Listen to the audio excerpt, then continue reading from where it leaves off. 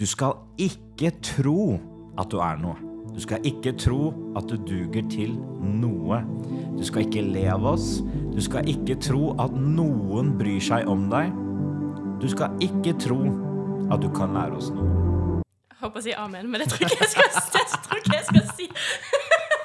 Men skal jeg være helt ærlig, Ja. så tror jeg så mange, bevisst eller ubevisst, jeg vet ikke, Ja. lever under de lovene her. Absolutt. Cool.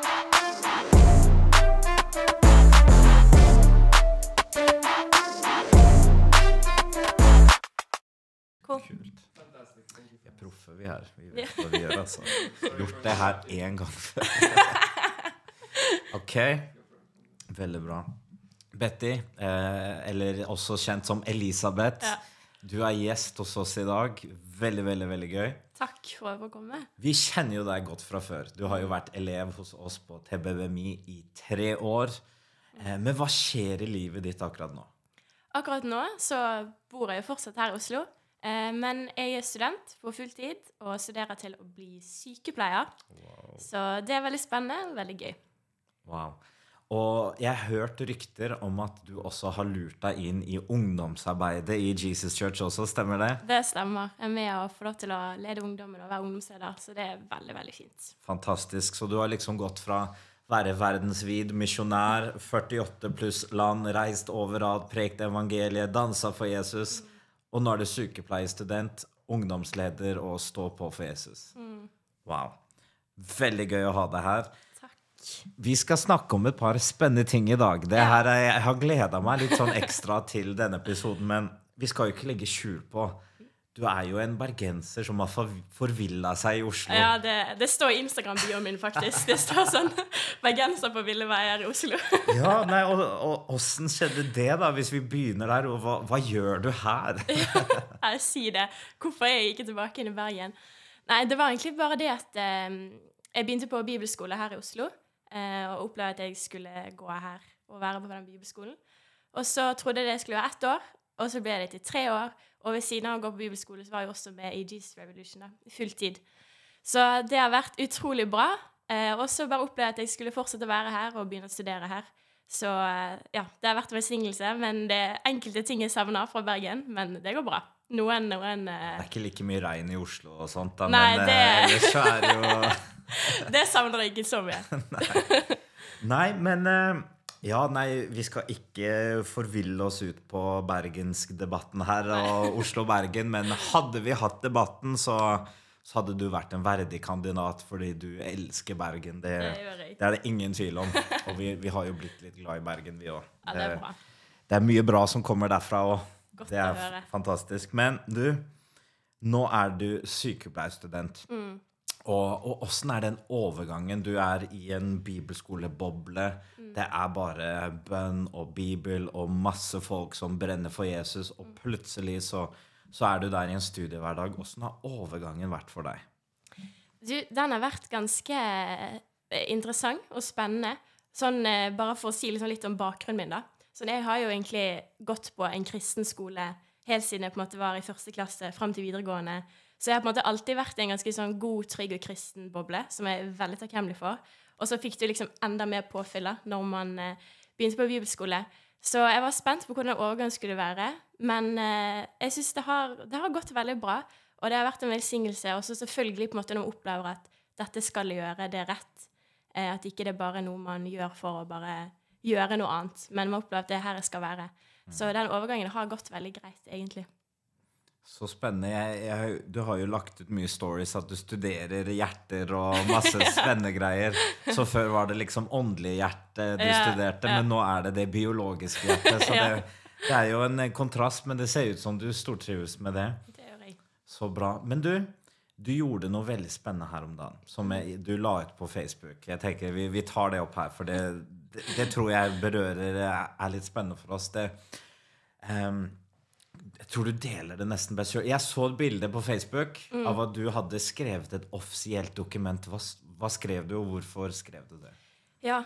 um, så bakgrunnen for det var egentlig at eh, jeg kom på skolen på en mandag og ante fred og ingen fare, holdt på å si.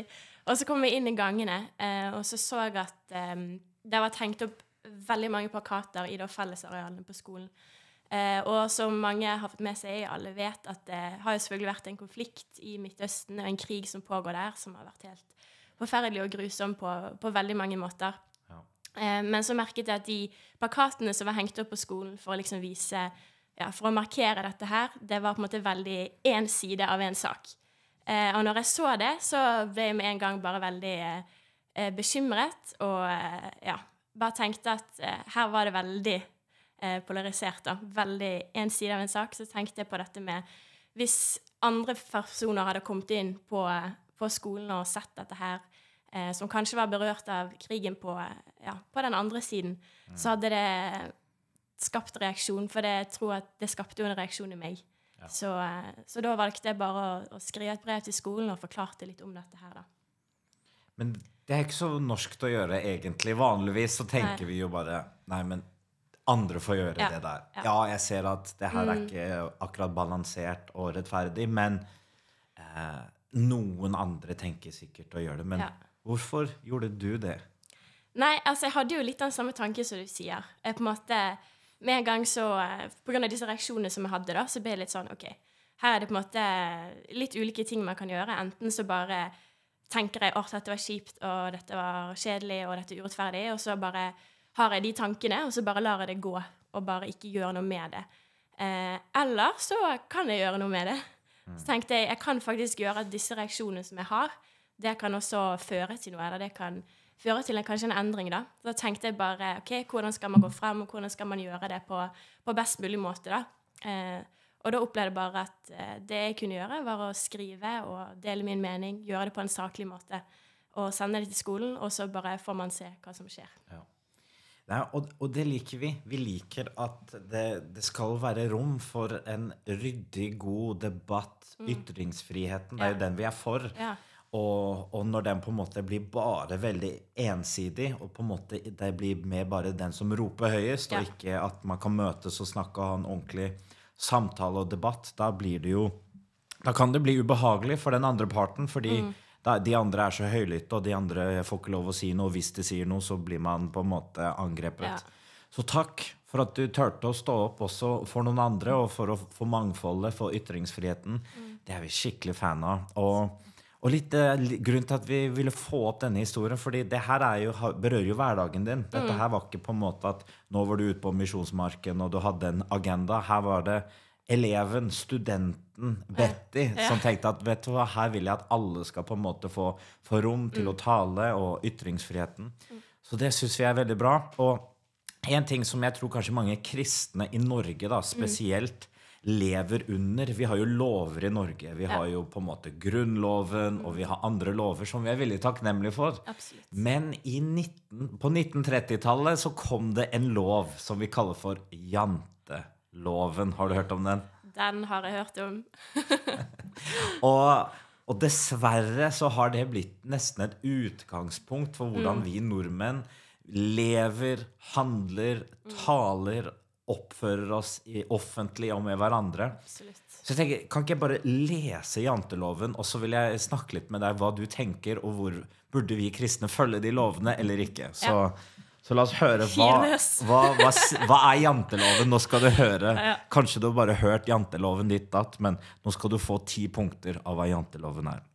Dette her ble eh, er skrevet av Aksel Sandmose i 1933.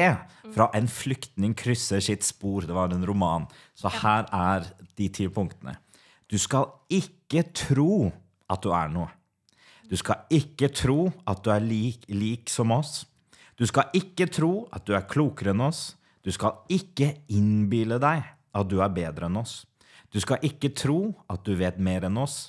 Du skal ikke tro at du er mer enn oss. Du skal ikke tro at du duger til noe. Du skal ikke le av oss. Du skal ikke tro at noen bryr seg om deg. Du skal ikke tro at du kan lære oss noe. Jeg håper å si amen, men det tror ikke jeg skal, jeg ikke jeg skal si. Amen! Preach it! Come on! Nei, fy av meg. For noe begrensende greier som eh. Men skal jeg være helt ærlig, Ja. så tror jeg så mange bevisst eller ubevisst, det vet jeg ikke, Ja. lever under de lovene her. Absolutt. Så hvorfor Jeg bare kaster den på deg. Ja. Hvorfor skal vi kristne Nå er du eh, student, Mm. men generelt Hvorfor skal vi kristne ikke forholde oss til det her? Mm. Og hva er konsekvensen hvis vi gjør det? Ja. Nei, du skal ikke ditt, og du skal ikke datt. Det blir jo veldig sånn eh, satt, og det blir veldig sånn eh, Vi kan ikke på en måte ytre noe. Vi kan ikke si det vi mener, vi kan ikke si verdiene som vi bærer på. Um, og jeg tror at hvis vi som kristne på en måte ikke tør å stå opp for det man tror på, eller tør å vise det i handling og med ord og på alle måter, så, så får jo ikke Jesus komme frem. Da får jo ikke han eh, eh, få vist andre hvem han er. Og konsekvensen av det blir jo at folk ikke får høre om Jesus. At folk ikke får bli kjent med han. Så ja, det er sånn korte trekk, da, som skal si det sånn. Ja, nei, troen blir jo eh, Hva skal jeg si? Den blir privat. Ja. For, det, for vi har på en måte det, noen, Jeg vil heller si at troen er personlig, men den Ja. er også offentlig. Klart. Men den er ikke privat på at det, det er bare meg og mitt og mitt eget, og ingen skal vite hva jeg tenker, tror eller føler, eller noe som helst. Så det er jo en veldig begrensende måte å leve på. Det, er- det er nesten så at på hvert punkt så kunne man nesten tatt et, et bibelvers på. Liksom. Du skal ikke tro at du er noe. Ja. Og så sier Bibelen du er et Guds barn. Du er en ny skapning i Kristus Jesus. Det nye har kommet, det gamle har gått bort. Mm. Nei, det skal du ikke tro. Du er Ja. ingenting. Ja, Liksom, sett deg ned på gulvet, liksom. Bli ydmyk. Liksom. Få beina på jorda. Så jeg tror, jeg tror det Hvis vi sånn norsk, som nordmenn bare begrenser oss til det der, så Mm. tror jeg du, du lever et så kjedelig, begrensende, middelmådig liv. Ja. Og, og jeg unner ingen å leve sånn. Det er litt sånn I dag så tok jeg toget. Mm. Ja. Og så, også vanligvis så Når jeg ser meg rundt på toget, så alle har på headset, sånn som vi har nå, eller AirPods, eller noe sånt. Alle sitter på telefonen. Så har Ja. jeg gjort det nesten sånn bevisst nå at nå vil jeg ikke joine den gjengen der. Mm. Jeg står der, jeg ser, prøver å få øyekontakt med folk, og med Ja. en gang du får øyekontakt med noen, så er, det- gjør de sånn liksom, Jeg skal ikke se på deg. Liksom, Hæ, hva, hva skjer nå? Hva vil han? Men så, så merker jeg på innsiden at å nei, jeg skal ikke liksom, Å, jeg bør ikke å, Tenk om jeg avbryter noen, tenk om jeg forstyrrer noen. Men så, så jeg merker at det er jo veldig koselig å snakke med folk òg, da. Mm. Hei, hva gjør du? Hva jobber du med? Liksom, hvor bor du? Og, og merker at folk setter egentlig veldig pris på det. Men fordi vi lever under janteloven, så skal alle bussene og togene skal være stille, og vi skal ikke eh, forstyrre en flue, liksom. Mm. Så hva er, hva er ditt forhold til, til å leve sånn? Du er jo bergenser og av natur, så Ja, ja. uten å si noe vondt om bergensere, vi er glad i bergenserne, så er jo dere litt mer livlige enn Ja. kanskje vi andre her på Østlandet. Amen. Men eh, åssen åssen- ja, åssen forholder vi oss til disse tingene? Åssen kan vi bryte de løgnene, da? Mm. Hvis det bevisst eller ubevisst påvirker måten vi lever på. Hvilke ting kan vi gjøre for å på en måte Mm. breaking free fra de greiene her? Nei, det er, er gode spørsmål. Eh, Jeg tror først og fremst så handler det om at man på en måte må man må faktisk vite hvem man er i Gud. Og det er akkurat det som både Jantelov sier at man egentlig ikke skal gjøre. At man liksom ikke skal tro at man er noe. Man skal ikke tro at man kan stå opp for noe eller mene noe. Eh, og da må man vite veldig godt hva er det Gud sier om oss. Hvem er det Gud sier vi er som personer. Eh, og på den måten så har man da frimodighet til å faktisk stå frem. Og Bibelen sier jo masse om det. Sier masse om på en måte eh, frimodighet av stor lønn, ikke sant? Eh, og da man vet hva Gud sier om deg, hva Gud mener om deg, så har man også eh, den muligheten til å faktisk kunne ytre og kunne si, kunne stå frem og kunne være trygg på det du tror på, og tro på at det som du tror på, også kan faktisk forandre livet til andre mennesker. Amen. Mm. Amen. Så bra.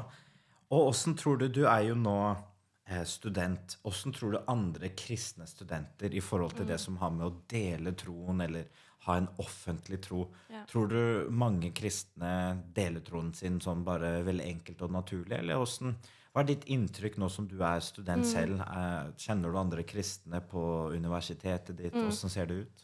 Ja, altså jeg er jo faktisk veldig velsignet og heldig, fordi jeg vet at det er mange studenter, og det er sikkert noen som hører på, som er liksom Den eneste jeg vet om på min skole som er kristen, det er jo meg selv.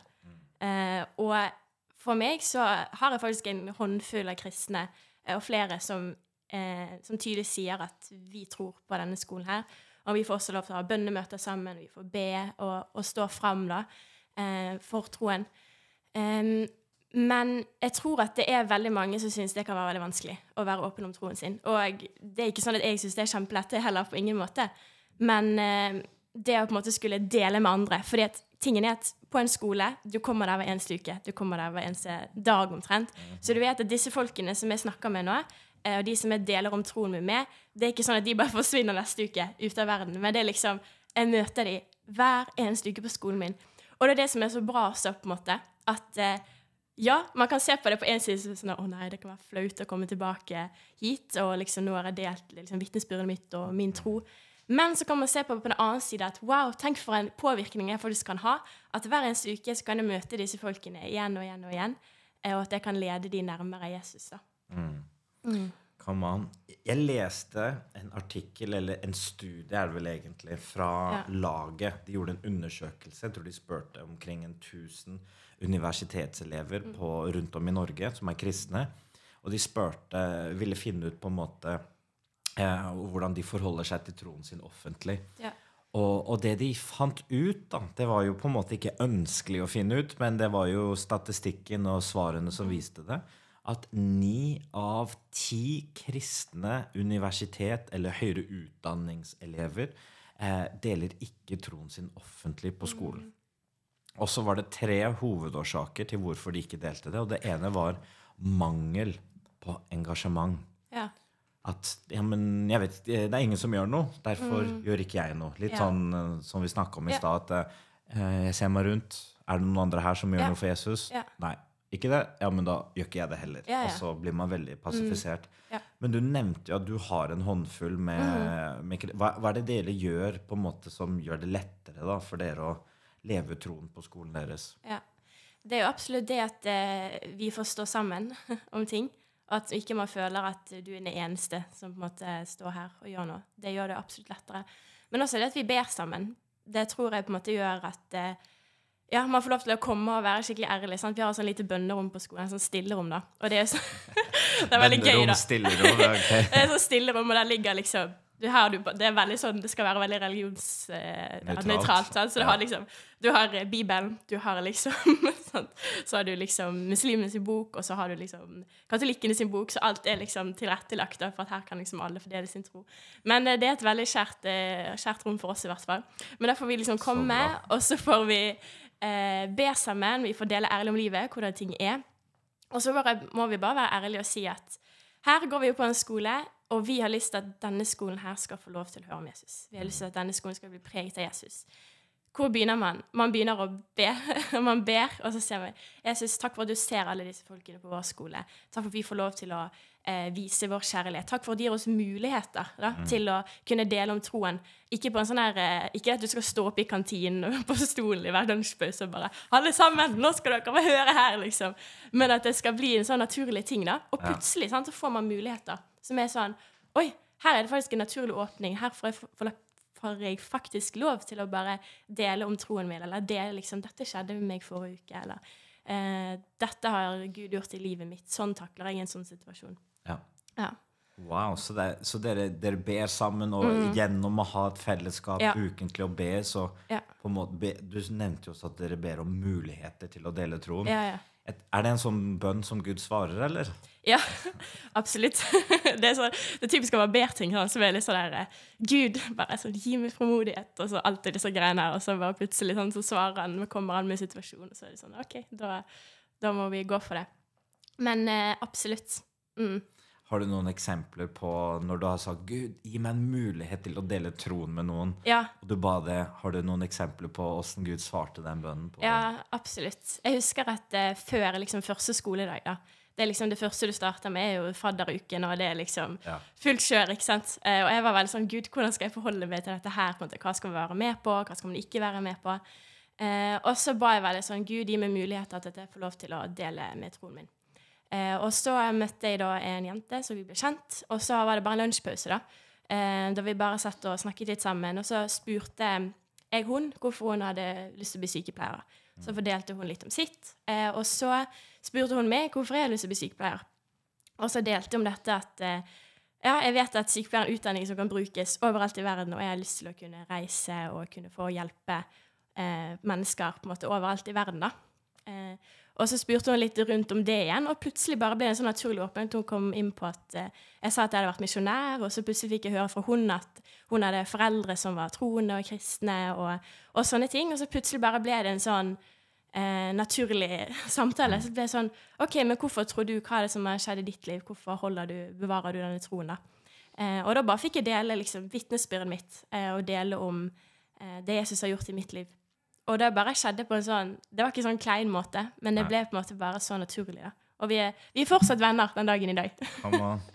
Så bra. Så, og det er jo det vi vil se, at uh, man kommer inn i en sånn livsstil hvor mm. man ber, man velsigner menneskene man møter i hverdagen, mm. og så kommer disse åpne dørene ved at man er seg selv. Ja. Jeg tror ofte så møter jeg på folk som Hva, hva er hemmeligheten? Hva er liksom ja, ja, den, den, hemmelige nøkkelen til å bare ha skikkelig gjennombrudd i å prate med mennesker? Mm. Så, så, sier jeg ofte det er uh, 'hallo'.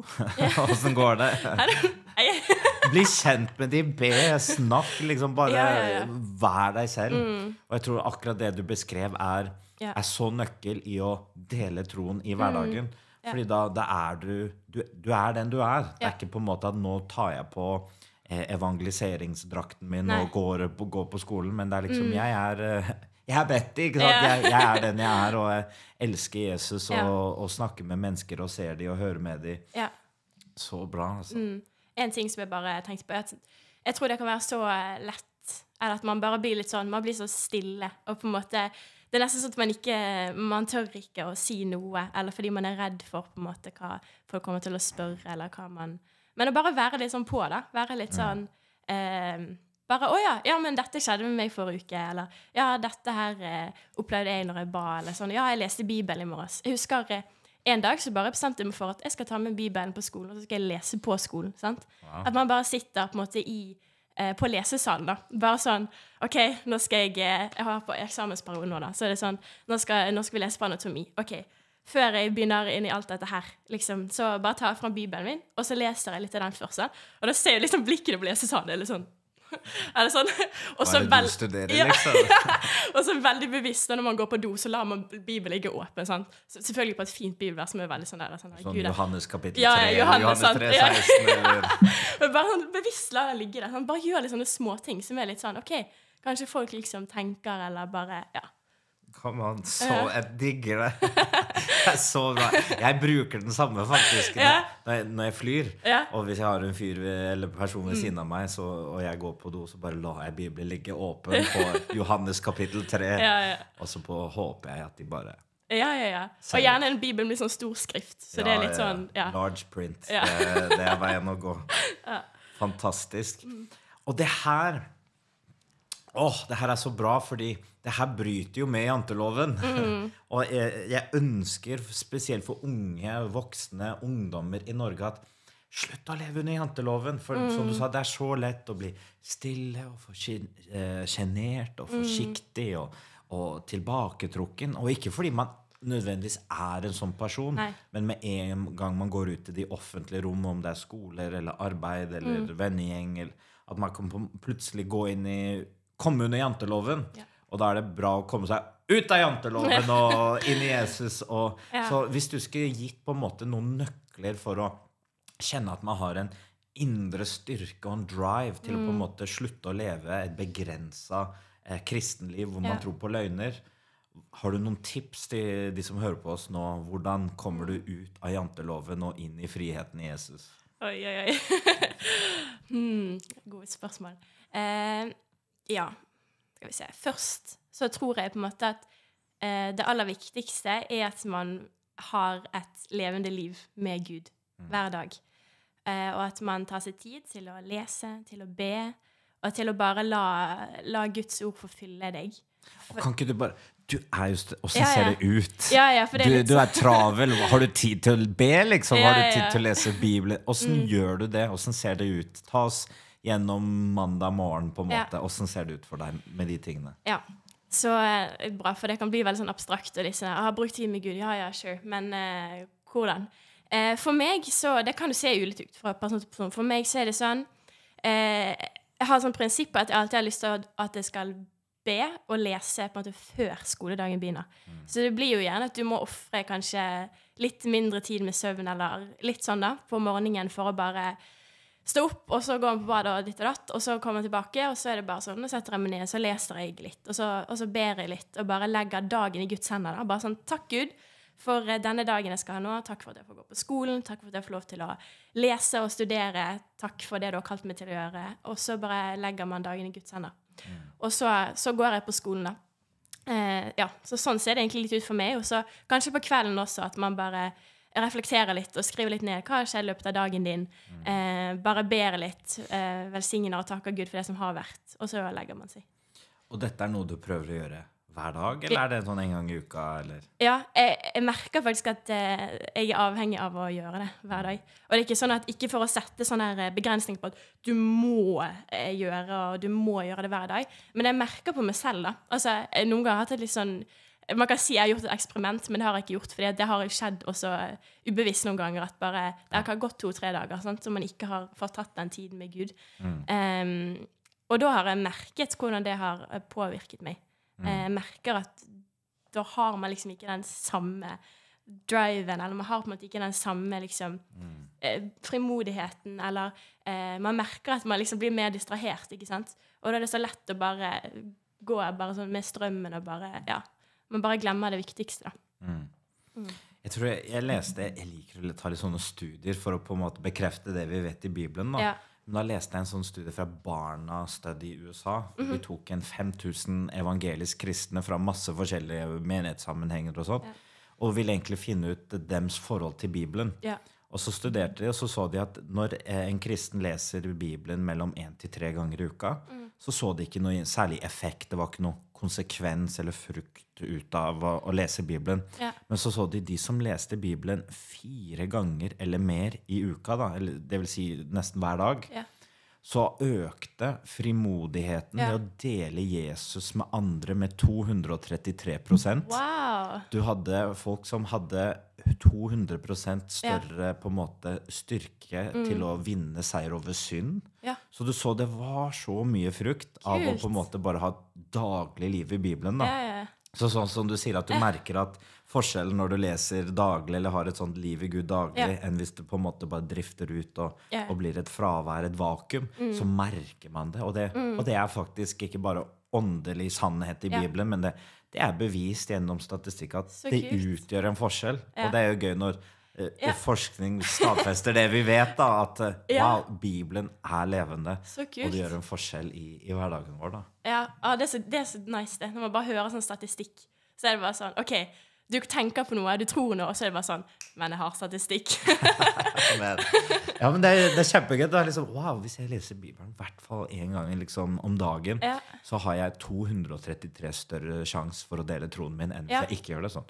ja, Jeg ja. tror jeg burde lese Bibelen min, så det er ikke den at du må gjøre Nei. det sånn. Men wow, det, er en konsekvens. Det er jo, Mm. Hvis du spiser eh, bare usunt hver dag, så er jo konsekvensen at du føler deg lat og sliten hele tida og paff fordi maten ikke gir deg noe. Mm. Men hvis du spiser litt godsaker eh, liksom, av eh, gode kosthold, og så, så plutselig hjelper maten deg, og du føler deg mye bedre. Ja. Samme er det jo åndelig. at Spiser du riktig åndelig, Mm. så utgjør det stor forskjell i, i hverdagslivet. Så Ja. Bønn og bibel. Ja. Har du en sånn siste luretriks som du gjør? Åssen åssen er kan, kan man være fri som deg, Betty, som eh, student? Hmm, siste tips. Jeg vil jo si at har du mulighet, og prøv å finne noen andre på skolen eh, som er kristen. Eh, bare liksom undersøk litt. Bare prøv å liksom tenke altså, Helt ærlig, sånn første skoledag, så bare sånn Det, det høres litt teit ut, men det var sånn Hvem ser kristen ut? Ok, nå er jeg litt nysgjerrig her. Åssen er den kristne looken i Oslo i 2023? Åssen ser Eh, en kristen gutt eller jente ut? å, det er litt så farlig territorium for Er det deg. Chosen T-skjorte? Ja, Er ja det, ser du litt, etter sånn, det? litt sånn Litt sånn merch. Litt sånn OK, hva ser her? Og litt sånn fremgangsmåte. Sånn, fordi man hilser på folk, så er det litt sånn måten de snakker på, bare sånn veldig vennlig og veldig åpne. Eh, da, og så, ja jeg synes Det er så farlig å si der, sånn som jeg krysser. for det er sikkert noen som føler seg sånn her Oi, det er meg, liksom. Skjønner du? Ja, men det er det! ja, De det- hører på nå! Men det, det første er liksom litt av der uh, chosen, da. Den, er- den, Eller Descend. Ja, Da, det- da vet du Oi, det er Det er sånn, her er det misjonær. Her er det Det litt sånn, da. Så hvis man på en måte har eh, litt sånn merch, da. Eh, eller bare Ja, man bare vet ikke, man får en sånn følelse noen som, noen som smiler veldig, og er veldig sånn Du bare ser at den personen ser skikkelig snill ut. Ja. Da blir man sånn, Og så kommer man litt Og det er alltid gøy, for det er sånn første samtale, så er det litt sånn Ja, ja, hva har du gjort på, da? Sånn, så meg er jo Nei, jeg var tre år i misjon, liksom. Det er ikke alle som kan si det, på en måte. Jeg bare Nei, hva gjorde du i fjor? Nei, jeg reiste til 48 land i Europa, liksom. sant? Men eh, når man kommer litt inn på den der, bare sånn Ja, ja, jeg er også kristen. Og så bare Ja, ja, jeg er også kristen. Du vet den der Du vet den lettelsen. Å, vi fant hverandre! Yes! Yes! Undercover blir plutselig Nå er vi, nå er vi to, liksom. Ja, ja, det blir sånn. Så jeg tror at det er bare Fordi da kan man styrke hverandre, ikke sant? Da blir man sånn Ja, men kan ikke vi bare samles? Kan ikke vi bare be sammen? Kan ikke vi bare liksom Kan ikke vi bare stå sammen for denne skolen? Stå sammen for vårt eh, daglige liv med Gud, da? Så eh, jeg vil si det. Men så igjen, sånn, så er det jo sikkert noen som ikke har kristne på skolen. Um, da tror jeg i hvert fall det er veldig viktig, det er det uansett, men å bare ha et fellesskap. Stå sammen med noen utenfor studiestedet ditt som, uh, ja, som er kristne, som du kan stå sammen med, der du kan få lov til å dele med, ja, be sammen med. Herlig. Det her er så bra. Dette her håper jeg kan være til skikkelig oppmuntring for de som har hørt på. At hvordan det hverdagslivet i Gud ser ut. Hvordan vi kan eh, bryte løs fra disse jantelovene som prøver å begrense livet vårt, og komme oss inn i, i den friheten i Gud. Takk for at du er den du er, og takk for at du ble med på podkasten og bare delte fra ditt liv. Det har vært kjempegøy å ha deg med. Hvis du har en aller siste ting som du vil bare fyre løs fra hofta til publikum, hva ville du sagt? Jeg ville sagt stå opp for det du tror på. Eh, stå opp for Jesus. Eh, og eh, vær frimodig og ha ditt bønneliv og personlige liv med Gud. La det være førsteplass i eh, din hverdag. Amen. Det er, da har du hørt det sagt eh, fra Betty her, at eh, kom deg på plass med Jesus, elsk han, søk han og lev med han, så faller det andre på plass. Tusen takk for at du ble med denne episoden. Vi lurer deg nok inn i en eh, senere anledning og fortsetter å stå på. Takk så takk for for denne gang. Amen. Ah! Oh my goodness! The music was so funny in the end. Oh, Well done.